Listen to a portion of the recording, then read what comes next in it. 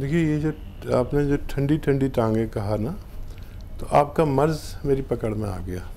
ये दरअसल हमें क्या होता है कि हमें दर्द तो पंजों में या पिंडली में खिंचाव सा या ठंडी, ठंडा लगता है, या दर्द सा होता है, या सुन सा होता है, या जलन सी होती है। ये चार तरह का होता है। तो मैं समझ गया कि आप इसका इलाज करा रहे होंगे पैर का और पिंडली का। और आपका मर्ज जो है वो कमर में है।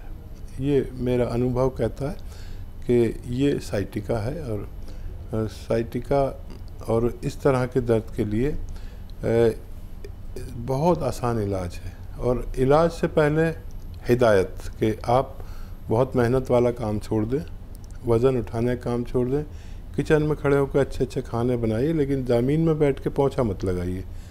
ये ज़मीन में बैठ के जो काम है ये ना करें और वेस्टर्न टॉयलेट अगर है तो उसका प्रयोग करें और नहीं है तो उसका ज़रूरत पूरी करें। और आ, आसान जब है जब ये हिदायत पर आप आ, अमल करें। और कौन सा एक दुनिया की ऐसी दवा है जो घर घर तक पहुँच गई है जिनको मिल जाती है उनको फ़ायदा बेहतर हो जाता है। आधा आधा ग्राम खाना होता है सुबह शाम।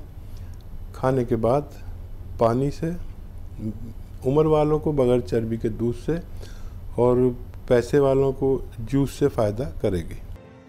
ऐसे ही हकीम साहब के तजर्बे का फ़ायदा उठाने के लिए हमारे चैनल हकीम सुलेमान खान को सब्सक्राइब करें और बेल बटन को दबाना ना भूलें, ताकि हकीम साहब के घरेलू नुस्खों से ज़्यादा से ज़्यादा आप फ़ायदा उठा सकें।